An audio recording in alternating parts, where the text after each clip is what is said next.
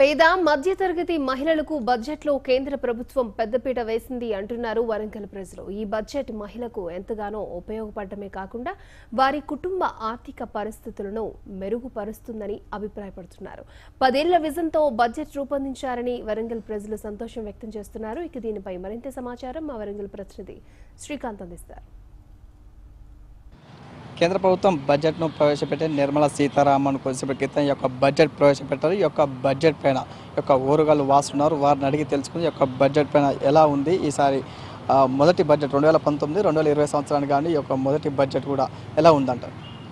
రెండు వేల పంతొమ్మిది ఇరవై ఆర్థిక సంవత్సరానికి కొత్తగా ఏర్పాటైనటువంటి ఎన్డీఏ గవర్నమెంట్ ముఖ్యంగా నిర్మలా సీతారామన్ గారు ఆర్థిక మంత్రి పార్లమెంట్లో బడ్జెట్ని ప్రవేశపెడుతూ నవభారత్ నిర్మాణ లక్ష్యానికి ప్రణాళికలు రూపొందిస్తున్నాం అనే మాటతోటి వాళ్ళ బడ్జెట్ని ప్రవేశపెట్టడం జరిగింది. ఓవరాల్గా బడ్జెట్ ఒక మిశ్రమమైనటువంటి బడ్జెట్గానే మనం భావించాలి. వీళ్ళు ప్రధానంగా దృష్టి కేంద్రీకరించింది ఏంటంటే నవభారత నిర్మాణాన్ని చేయాలి అని అంటే ఈ దేశంలో మౌలిక వసతులను పెద్ద ఎత్తున కల్పించాలి. ఇన్ఫ్రాస్ట్రక్చరల్ ఫెసిలిటీస్ని కల్పించాలనేటటువంటి లక్ష్యంతో మొత్తం budget అవుట్లేలో hundred lakhs crores rupees first time this is the first time after independence of India వంద లక్షల కోట్ల రూపాయల బడ్జెట్ని వాళ్ళ మౌలిక వసతుల కల్పన పైన పెట్టడం జరిగింది. దాంట్లో ముఖ్యంగా అందరికీ ఇళ్ళు అనేటటువంటి కార్యక్రమాన్ని. రెండు వేల ఇరవై రెండు నాటికి ఒక్క కోటి తొంభై ఐదు లక్షల ఇళ్ళ నిర్మాణం చేపట్టాలనుకున్నారు. అలాగే హర్ ఘర్ జల్ అనేటటువంటి ఒక కొత్త పథకాన్ని పెడుతూ ప్రతి ఇంటికి త్రాగునీరు అందించాలనుకున్నారు. తర్వాత మౌలిక వసతుల కల్పనలో భాగంగా పవర్ గ్రిడ్ ఒకే దేశము ఒకే పవర్ గ్రిడ్ అనేది.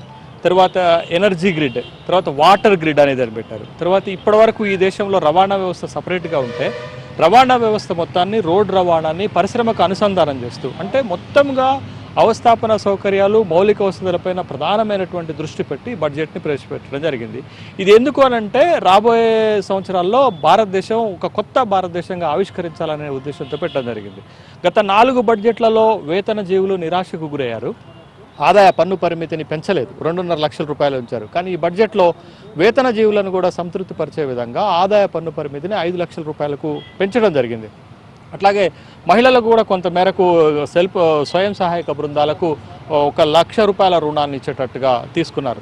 ఓవరాల్గా బడ్జెట్లో ఏ ముఖ్యమైనటువంటి అంశాలు ఇవి ఉంటే అసలు కోర్ సెక్టార్స్ అని భారతదేశంలో ఉన్నాయి. అంటే ఉదాహరణకు ఇప్పుడు వ్యవసాయ రంగం వ్యవసాయ రంగం యొక్క ప్రస్తావన పెద్దగా ఈ బడ్జెట్లో లేదు. గత బడ్జెట్లోనే వ్యవసాయ రంగానికి పెద్ద ఎత్తున కేటాయింపులు చేశాం కాబట్టి పాత పథకాలనే కొనసాగించే విధంగా చేశారు తప్ప ప్రత్యేకించి వ్యవసాయానికి పెద్దగా ఏం చేయలేదు. తర్వాత ముఖ్యంగా ఇటీవలనే ఎన్ఎస్ఎస్ఓ రిపోర్టు తీసుకొని వచ్చారు.